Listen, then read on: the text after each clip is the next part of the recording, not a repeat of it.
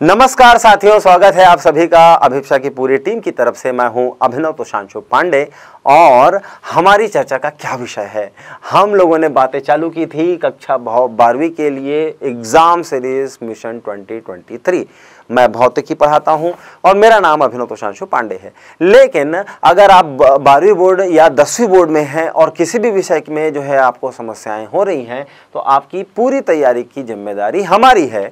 और अभिप्सा की एप्लीकेशन में जो है आपको हमारे सारे सारे वीडियोस मिलेंगे और इसके अलावा आपको यहाँ पर मिलेंगे माइंड मैप शॉर्ट नोट्स और स्पेशल कंटेंट तो यदि आप लोगों ने हमारा चैनल अभी तक सब्सक्राइब नहीं किया है तो पहले चैनल सब्सक्राइब करें और अगर आप हमारे एप्लीकेशन में आएँगे तो आपको एडिशनल बेनिफिट्स मिल सकते हैं। आइए, हम लोगों ने क्या क्या बातें की थी? हम लोगों ने ऑस्टेट के प्रमेय के बारे में बात किया, हम लोगों ने बायो के सेवर्ट के नियम के बारे में बात किया, हम लोगों ने धारावाही लूप के केंद्र में जो है क्या चुंबकीय क्षेत्र की तीव्रता बनती है, इसके बारे में बात की थी।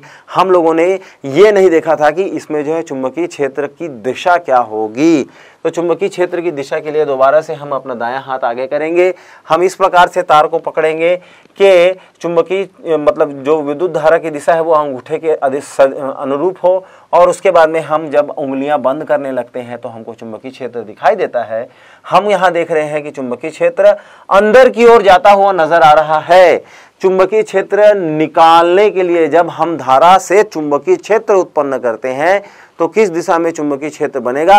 दाएँ हाथ के नियम से निकाला जाता है। आप में से बहुत सारे बच्चे दाएँ हाथ के नियम और बाएँ हाथ के नियम में कंफ्यूज हुआ करते हैं। इसका उपाय यही है कि आप हमारे साथ जुड़े रहे, हमारे वीडियोस को लगातार देखते रहें और इसी प्रकार के छोटे छोटे डाउट्स आपके हम क्लियर करते चलेंगे। तो यहाँ पर चुंबकीय क्षेत्र की दिशा देखिए, अगर मैं यहाँ धारा की दिशा देखिए, अंदर जा रही है। यहाँ धारा की दिशा देखिए, अंदर जा रही है। ऐसा करने से अंदर जा रही है मतलब यहाँ पर कुल मिला के चुंबकीय क्षेत्र बाहर से अंदर की ओर इस प्रकार से जाता हुआ दिखाई देगा। आपको समझ में चीज़ें आई?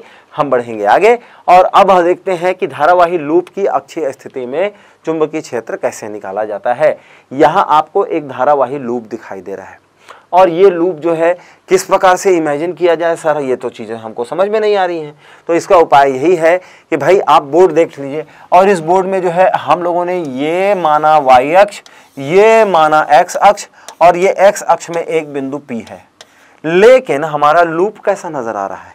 तो हमारा लूप कैसा नज़र आ रहा है, ये जानने के लिए हम लोगों ने ये देखिए, ये आप मान लीजिए कि इसके चारों ओर तार लगा हुआ है और ये हमारा लूप है, इसमें धारा प्रवाहित हो रही है। तो ये लूप हम इस प्रकार से यहाँ व्यवस्थित कर देंगे ताकि जो है हम इसकी बीच से निकलने वाले अक्ष से अच्छे स्थिति में चुंबकीय क्षेत्र की तीव्रता निकाल सकें। तो अगर आपको ये बात समझ में आई तो फिर आगे बढ़ते हैं। हमको लूप भी समझ में आ गया और लूप कहाँ बना हुआ है? लूप बना हुआ है वाई जेड के प्लेन में। अब यहाँ पर कुछ नाम नामांकन कर लेते हैं। ये हमारी जो दूरी है, इसका नाम है, क्या है भैया? इसका नाम है, ये हमारी जो दूरी है, इसका नाम है एक्स यहाँ जो त्रिज्यीय दूरी है मतलब इसके लूप के केंद्र से जो दूरी है, इसका नाम है वाई लेकिन क्या इन चीज़ों का फ़र्क पड़ता है? नहीं पड़ता है। तो हमको कौन सी दूरी निकालनी पड़ेगी? ये जो बिंदु है, यहाँ से हम जो है एक सीधी रेखा खींचेंगे। और ये दूरी हो जाएगी आर अब जब हमको यहाँ तक बातें समझ में आ गई हैं तो हम क्या देखेंगे? भाई आर बराबर तो पाइथागोरस का प्रमेय लगाएँगे और यहाँ पर हो जाएगा आर का वर्ग बराबर एक्स का वर्ग धन वाई का वर्ग। ये बात तो सही है। और क्या जानकारी निकल सकती है? यहाँ पर एंगल होगा थीटा यहाँ पर एंगल होगा थीटा तो ये जो एंगल थीटा होगा तो अब जो है यहाँ पर हम एक लंबवत ले लेते हैं। अच्छा अब यहाँ बिंदु P पर जो है हम चुंबकीय क्षेत्र की तीव्रता निकालना चाह रहे हैं। हम लोगों ने मान लिया कि यहाँ पर विद्युत धारा इस प्रकार से प्रवाहित हो रही है। अब देखो, विद्युत धारा ऐसे प्रवाहित हो रही है तो यहाँ पर जो है, भाई आप देखिए, यहाँ विद्युत धारा की को हम लोगों ने तार को ऐसे पकड़ा। तो हम लोगों ने जब तार को ऐसे पकड़ा तो जो है इस बिंदु के लिए जो है चुंबकीय क्षेत्र ऐसा दिखाई दे रहा है मतलब यहाँ पर लंबवत इस दिशा में चुंबकीय क्षेत्र नज़र आएगा। उसी प्रकार से अगर आप जो है नीचे वाली स्थिति में जब यहाँ पर जो है तार धारा प्रवाहित हो रही है तो मैंने यहाँ से जो है निकलते हुए तार को किस प्रकार से पकड़ा, ऐसे पकड़ा और ऐसे पकड़ने से मुझे इस बिंदु पर चुंबकीय क्षेत्र जो है कैसे नज़र आएगा? इस बिंदु पर चुंबकीय क्षेत्र इस रेखा के लंबवत ऐसे नज़र आएगा। अब इन दोनों चीज़ों को देखने के बाद में आपको चुंबकीय क्षेत्र जब नज़र आ गया है कि ये नब्बे अंश का कोण बना रहा है, इधर से भी और इधर से भी, ठीक है? तो अब जो है इन नब्बे अंश के कोण बनाते हुए, अब हम जो है यहाँ पर क्या करेंगे कि इनके अवयवों को हम विभक्त कर लेंगे। कैसे विभक्त होंगे भैया इसके अवयव? तो हम जो है दोबारा से चित्र बनाते हैं ताकि आपको समझने में आसानी हो। यहाँ जो है हम लोगों ने धारा को इस प्रकार से प्रवाहित किया और ये बन गया हमारा चुंबकीय क्षेत्र डी बी ठीक है? और इसके दो अवयव निकल सकते हैं तो दो अवयव हम यहाँ पर निकाल लेंगे। पहला अवयव है ये वाला और दूसरा अवयव है ये वाला। अब यहाँ पर देखिए कि ये एंगल थीटा है तो ये वाला एंगल भी हमको थीटा नज़र आएगा। हाँ अब ये थीटा है तो ये हो जाएगा डी बी कॉस थीटा भाई ये डी बी है तो इसका जो है कॉस कंपोनेंट इधर आ जाएगा और ये हो जाएगा डी बी साइन थीटा और अब आप देखेंगे कि डी बी कॉस थीटा और डी बी साइन थीटा में जब हम जो है इस बिंदु के लिए निकालेंगे, तब यहाँ पर भी है, फिर से हमको जो है यहाँ पर डी बी कॉस थीटा और यहाँ पर डी बी साइन थीटा मिलेगा। और ये कॉस कंपोनेंट एक दूसरे को क्या कर सकते हैं? कैंसिल कर सकते हैं तो कॉस कंपोनेंट खत्म हो जाएँगे और हमको कुल मिला के चुंबकीय क्षेत्र क्या मिलेगा? डी बी साइन थीटा मिलेगा। तो हमको चुंबकीय क्षेत्र के लिए पता चल गया कि भाई डी का जो है, चुंबकीय क्षेत्र डी बराबर तो हम लोगों ने अभी अभी जो है क्या निकाला बायो सेवर्ट्स का नियम लगाया और वो होता है mu zero by four pi और इसके बाद में जो है यहाँ पर हो जाएगा आई डी एल और sine theta I D L sine theta और डिवाइडेड बाई आर का वर्ग, ठीक है? अब जो है यहाँ पर साइन थीटा की बात करेंगे। देखिए, अगर आप जो है ध्यान से देखेंगे तो आपको जो है यहाँ पर जो है, यहाँ साइन थीटा कैसे दिखाई देता है? देखिए, साइन थीटा निकालने के लिए साइन थीटा बराबर लंब बटे आधार। लंब क्या है यहाँ पर? तो लंब है वाई और आधार क्या है? आधार है एक्स तो साइन थीटा बराबर लंब बटे आधार, ये हो जाता है।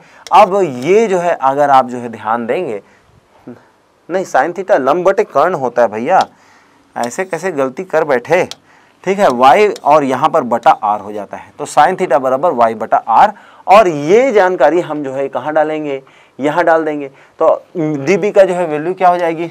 बी बराबर mu zero by four pi और यहाँ हो जाएगा आई डी एल और साइन थीटा के बजाय हम लिख देंगे वाई बटा आर का वाई बटा आर ठीक है? और यहाँ जो है आर का वर्ग। अब ये जो है किसकी वैल्यू हो गई? ये वैल्यू हो गई एक छोटे से हिस्से का जो चुंबकीय क्षेत्र निकल रहा है। लेकिन हमको यहाँ पर जो है कुल चुंबकीय क्षेत्र, कुल चुंबकीय क्षेत्र जो है निकालना है। बी बी नेट निकालना है। तो ये बी नेट जो है क्या किसके बराबर होगा? हम इंटीग्रेशन करेंगे किसका? डी बी और उसके बाद में साइन थीटा की। अब ये फिर से साइन थीटा कहाँ से आ गया? आप ध्यान दीजिए कि पहले साइन थीटा जो है वो आ, भाई आ, हमारे जो है फॉर्मूला में डीबी के लिए था। लेकिन जो हमारा डीबी निकल रहा है उसका भी साइन कंपोनेंट हम लोगों ने यहाँ देखा कि भाई कॉस कंपोनेंट तो जो है एक दूसरे को कैंसिल कर रहा है। यहाँ पर कॉस कंपोनेंट तो एक दूसरे को कैंसिल कर रहा है, केवल साइन कंपोनेंट जुड़ेगा और वो भी सिर्फ़ एक बिंदु या दो बिंदु की बात नहीं है। हम समाकलन करेंगे पूरे रिंग के लिए तो इस तरीके से हमको डी बी साइन थीटे का समाकलन मिलेगा। और यही जानकारी हम लोगों ने यहाँ डाल दी। तो अब जो है हमको यहाँ पर जो है पूरी जानकारी मिल जाती है। यहाँ पर जो है फॉर्मूला डालेंगे फॉर्मूला में वैल्यूज़ डालेंगे तो हमको मिलेगा mu zero by four pi और यहाँ हो जाएगा आई डी एल बटा आर का वर्ग और यहाँ हो जाएगा वाई बटा आर का, वाई बटा आर और यहाँ हो जाएगा साइन थीटा। ठीक है? तो ये जो है हम लोगों को करने के बाद में, अब आप बताइए कि यहाँ पर जो है हम समाकलन किसका करने वाले हैं? तो हम जो है यहाँ पर समाकलन करने वाले हैं। अच्छा ये वाला साइन थीटा के लिए भी जो है हम लोग वाई बाई आर जो है लगा सकते हैं। चलिए उसको बाद में देखेंगे। अब हम यहाँ पर जो है बाकी सारे के सारे जो है क्या हैं? बाकी सारे के सारे कांस्टेंट हैं सिर्फ़ एक वेरिएबल है। और वो वेरिएबल क्या है? ये डी एल जो है, ये एक चर है। तो इसको अंदर रख के बाहर सब निकाल देंगे। और इसका जो है जब हम करेंगे तो हमको यहाँ पर क्या मिलेगा? यहाँ पर हमको मिलने वाला है mu zero by four pi और यहाँ हो जाएगा आई और वाई बटा आर की घात तीन और यहाँ पर जो है साइन थीटा और इंटीग्रेशन में डीएल हो जाएगा। तो इसको जो है ये किसकी वैल्यू है भैया? ये बी की वैल्यू है। तो बी का मान क्या हो जाएगा? Mu zero by four pi और यहाँ पर I Y by R cube और यहाँ पर जो है टू पाई वाई हो जाएगा। क्या हो जाएगा? भाई, यहाँ पर टू पाई आर होता है और हम लोगों ने क्या देखा है? हम लोगों ने देखा है कि आर की बजाय जो है ये वाली लंबाई जो त्रिज्या है, उसको हम लोगों ने वाई लिया है। तो यहाँ पर हो जाएगा टू पाई वाई, ठीक है? अब जो है यहाँ पर एक और एक और चीज़ जो है देखने वाली चीज़ है, और यहाँ पर साइन थीटा को रहने दो भैया। साइन थीटा को रहने दो। तो ये जो वाई है, ये जो वाई है, और यहाँ पर देखो व पाई वाई। तो हमको पता है कि पाई आर का वर्ग क्या होता है? पाई आर का वर्ग होता है क्षेत्रफल। तो पाई वाई का वर्ग बराबर क्षेत्रफल एरिया, ये हम लोगों ने देख लिया। और इससे जो है हमको क्या दिखाई देता है?